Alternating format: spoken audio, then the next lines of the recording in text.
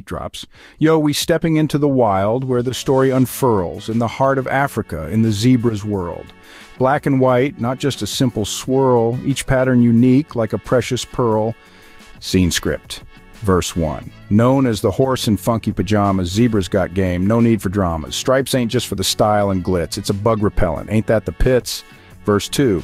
Don't confuse them with a horse or a mule. Zebra's got a social structure. They ain't no fool. Living in groups, called harems, you see. A stallion and his ladies, as happy as can be. Verse 3. Think zebras are slow.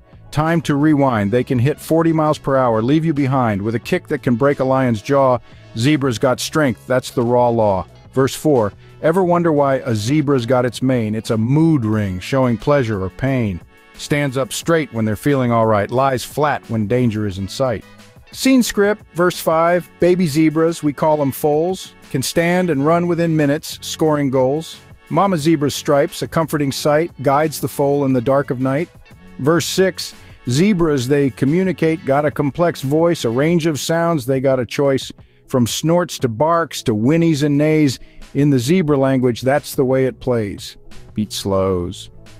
Now we're winding down, leaving their terrain, zebras, they're unique, not mundane, stripes for style, speed for the chase, living in harems, they set the pace. A mane that talks, foals born to run, voices that speak under the African sun. Zebras, they're more than black and white. In the heart of the wild, they're a stunning sight.